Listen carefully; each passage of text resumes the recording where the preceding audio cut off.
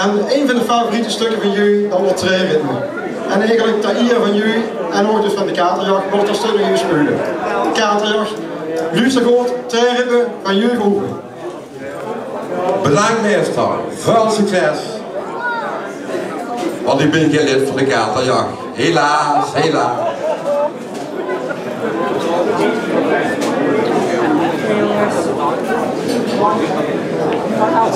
Instappen! Thank you.